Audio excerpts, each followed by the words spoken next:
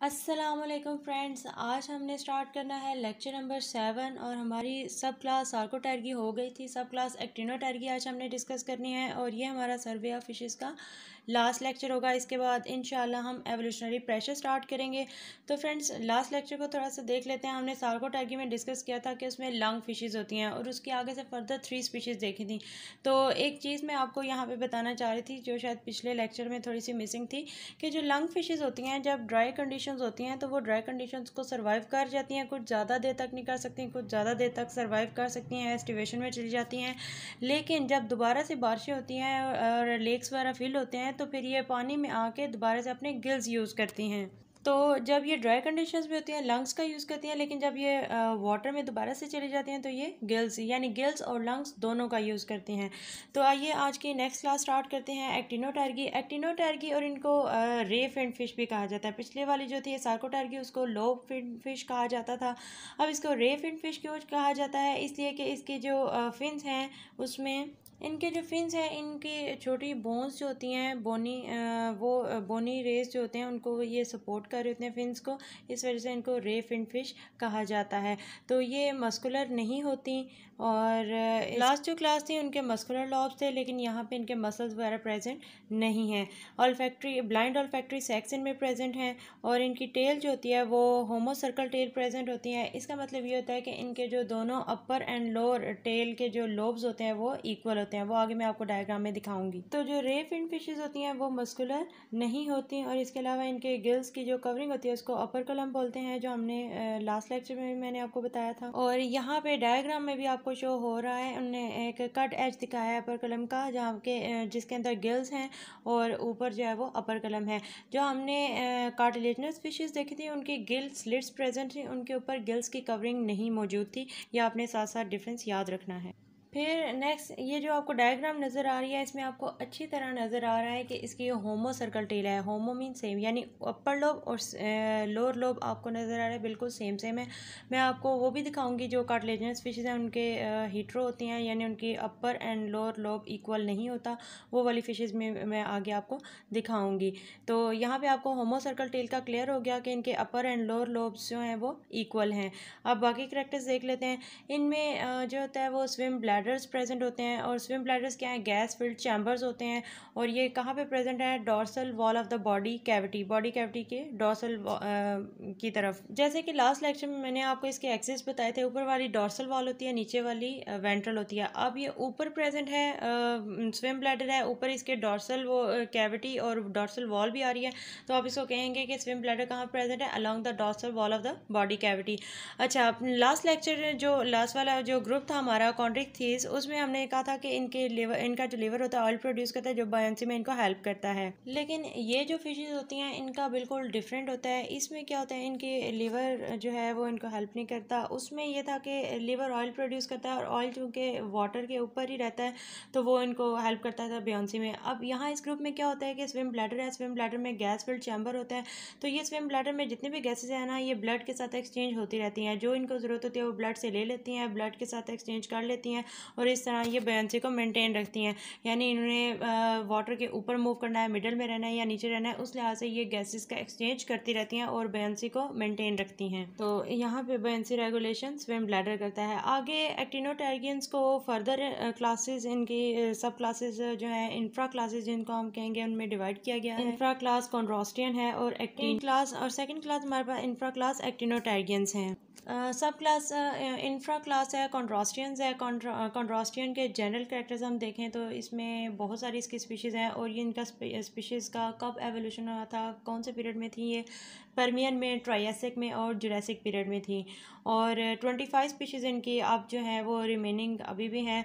और एंसेस्ट्रल जो कॉन्ट्रास्टियंस थे, उनका बॉनी स्केलेटन था। अब जो डायग्राम आपको शो हो रही है, इसमें आपको हिट्रो सर्कल टेल नज़र आ रही है, यानी अपर लोब जो है वो थोड़ा सा बड़ा है और जो लोअर लोब है वो थोड़ा सा छोटा है, इसलिए हम इसको हिट्रो सर्कल टेल कहेंगे। और यकीन में है? ये एक कॉन्ट्रास्टियन फ़िश की डायग्राम है और नीचे इसके लिखा हुआ लिखा हुआ है कि ये कार्टलेजनस फ़िशेज़ हैं तो आपने कंफ्यूज नहीं होना कि हम तो बोनी फ़िशेज़ पढ़ रहे हैं, लेकिन ये कार्टलेजनस फ़िशेज़ क्यों लिखा हुआ है?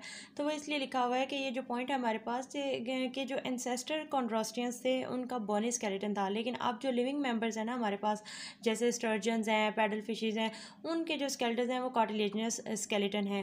तो एनसेस्ट्रल कॉन्ड्रोस्टियंस का बोनी स्केलेटन था, इस वजह से हमने इसको ऑस्ट्रिकथीज में रखा है बोनी वाले ग्रुप में रखा है। और अब जो लिविंग है, उनका कार्टिलेजनस है। तो ये जो है कार्टिलेजनस फ़िश है, लेकिन जो है ये कॉन्ट्रास्टियन है, ठीक है? तो इसमें आपने कन्फ्यूज़ नहीं होना। और इसकी टेल के जो लोब्स हैं, वो भी इक्वल नहीं है, यानी हीट्रो सर्कल है। लोब्स क्या होते हैं? प्रोजेक्शन से, ठीक है? आउटर जो स्मॉल प्रोजेक्शन है, इनकी लोब्स उनको कहेंगे। नेक्स्ट हमारे पास है स्टर्जन्स इसको हमने डिस्कस करना है, ये कहाँ पे रहती हैं? सी में लेकिन जब इनका ब्रीडिंग करनी होती है रिप्रोड्यूस करना होता है तो ये माइग्रेट कर जाती हैं फ्रेश वाटर में और इनकी माइग्रेटरी हैबिट्स जो हैं, वो इसी तरह से रहती हैं। ये लार्जर फिशेज़ हैं, इनकी बोनी प्लेट्स जो हैं, वो एंटीरियर आगे वाले पोर्शन को कवर करती हैं और टेल पे इनके हैवी स्केल्स प्रेजेंट हैं, वो भी आप देख से, देख सकते हैं और इनका माउथ जो होता है, वो स्मॉल होता है जॉज वीक होते हैं, जिसकी वजह से ये इनवर्टिब्रेट्स पे फ़ीड करते हैं। और स्टर्जन फिशेज़ जो होते हैं ना, ये सबसे इंपॉर्टेंट होते हैं इनके केवियर के लिए। केवियर मतलब ये बहुत ज़्यादा एग्स प्रोड्यूस करती हैं, इस वजह से ये ओवर फिशिंग इनकी की जाती है। नेक्स्ट हमारे पास हैं पैडल फिशेज़ तो ये भी लार्जर फ्रेश वाटर कॉन्ड्रोस्टियंस हैं और इनका पैडल लाइक रोस्ट्रम आगे आपको नज़र आ रहा है, एक लॉन्ग सी प्रोजेक्शन डायग्राम में भी। तो ये रोस्ट्रम की वजह से इनको, ये पैडल लाइक फिशेज़ इनको कहा जाता है और इनके रोस्ट्रम के ऊपर बहुत सारे सेंसरी ऑर्गन्स होते हैं जो कि डिटेक्ट कर लेते हैं वीक इलेक्ट्रिकल फ़ील्ड को। इलेक्ट्रिकल फील्ड्स क्या, जो कोई प्रे वगैरह प्रोड्यूस करता है फ़ील्ड तो वो इसको डिटेक्ट कर लेते हैं। इसके अलावा ये वाटर्स में स्विम करती हैं, अपना माउथ ओपन ही रखती हैं और साथ ओपन माउथ की वजह से पानी जब आता है तो उसमें से ये फ़िल्टर कर लेती हैं क्रोस्टेशियंस वगैरह को। और ये मेनली कहाँ पे होते हैं? मिसिसिपी रिवर बेसिन में, यानी ओहायो, अमेरिका की एक स्टेट है, उसके रिवर में, और ये नॉर्थ अमेरिका और चाइना में भी प्रेजेंट हैं। सेकंड जो इंफ्रा क्लास है, हमारे पास एक्टिनोटेरियंस हैं। ये कब फ्लोरिस्ट हुए थे? यानी कब इनका लिविंग थी? ये कौन से पीरियड में? जुरासिक पीरियड में थी। और ये सक्सीडेड कॉन्ट्रोस्टियंस हैं। इनके दो ही जनरा हैं, जो कि टेम्परेट से फ्रेश वाटर में इस तरह से इनकी होती रहती थी माइग्रेशन तो लेपिसोस्टियस है, जिसको कॉमनली गरपाई कहा जाता है। और सेकेंड है एमिया जो कि मॉडर्न बोनीफिशेस भी कहा जाता है जिनको। तो जो लेपिसोस्टियस है, इसके थिक स्केल्स होते हैं, लॉन्ग जॉज हैं तो जॉज अगर लॉन्ग हैं, डेवलप्ड हैं, इसका मतलब है ये जॉज को यूज़ करती है फिशेस को कैच करने के लिए, जिनको ये अपना प्रे बनाती है। सेकंड जो इसकी ये स्पीशी है, एमिया, उसको टेलियोस भी कहते हैं और मॉडर्न बोनी फिशेस भी कहा जाता है और कॉमनली इनको डॉग फ़िश फिन फ़िश भी कहा जाता है। ये एम सी क्यूज़ के लिए भी बहुत इंपॉर्टेंट है. Dogfish bowfin fish Amia teleost modern fish modern bony fishes ये सारे एक ही हैं. तो इनके जो है वो लिविंग फिशेज़ भी हैं. इनको इसलिए मॉडर्न बोनी फिशेज़ भी कहा जाता है.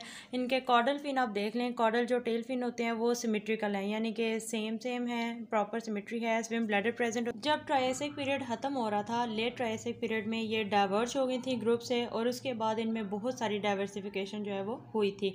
और इनकी टोटल जो स्पीशीज़ हैं वो ट्वेंटी ट्वेंटी थाउज़ेंड स्पीशीज़ हैं जो कि एक्वेटिक हैं। तो ये थी सारी इसकी क्लासिफिकेशन अब हम देख लेते हैं इनका बोनी फिशेज़ में और जो कार्टिलेजनस फिशेज़ हैं, उनमें क्या डिफरेंस है। मेन डिफरेंसेस हम देख लेते हैं। साथ साथ आपको डायग्राम्स बहुत अच्छी शो हो रही हैं। ये बहुत ही अच्छा डाटा है। देखें जी, इसका माउथ वेंट्रली लोकेटेड है। वेंट्रल साइड पे नीचे की तरफ़ है। वेंट्रल साइड नीचे वाली होती है। मैंने पहले भी आपको बताया था, ऊपर वाली डॉर्सल साइड होती है। और दूसरी में आप देखें इसका माउथ जो है, वो फ्रंट ऑफ़ द बॉडी वहाँ फिर आप देखें कि ये जो कार्टिलेजनस फिशेज हैं, उनके five to seven gill slits present हैं। सामने ही प्रेजेंट है, इनमें वाटर की मूवमेंट होती है, इनके ऊपर कोई कवरिंग नहीं थी। और दूसरे का आप देखें, इसमें गिल कवर प्रेजेंट है, यानी गिल्स के ऊपर अपर कलम आ गया है, ठीक है? फिर इनके प्लेकॉइड स्केल्स हैं। इनमें भी स्केल्स होते हैं, लेकिन वो प्लेकॉइड नहीं होते, इनके स्केल्स की शेप थोड़ी डिफरेंट होती है। टिनॉइड स्केल्स होंगे या सेक्लॉइड स्केल्स होंगे। और फिर स्पैरकल इनमें रेस्पेरेटरी ओपनिंग है लार्जर लिपिड रिच लीवर है, यानी इनके लीवर में ऑयल प्रोड्यूस ऑयल प्रोड्यूस होता है जो इनको बयांसी में हेल्प करता है। इसी तरह सेकंड जो बोनी फिशेज देखें तो इनमें सिंगल गिल कवरिंग है स्केल्स हमने देख लिए और होमो सर्कल कॉडल फिन होगा और इनमें स्विम ब्लैडर होगा जो इनको यहाँ पे बयांसी में हेल्प करेगा। तो ये था डिफरेंस आज का लेक्चर यहीं पर और यहाँ पर हमारा सर्वे ऑफ़ फिशेज भी कंप्लीट हो चुका है। तो आई होप कि आप लोगों को ये लेक्चर बहुत अच्छे से समझ आ गया होगा। फिर भी अगर कोई चीज़ रह गई हो तो आप मुझे कमेंट्स में पूछ सकते हैं, बता सकते हैं। अगर आपको कम्प्लीटली अंडरस्टैंडिंग हो गई हो और आपको पसंद आए तो लाइक करें शेयर करें सब्सक्राइब करें। Thank you.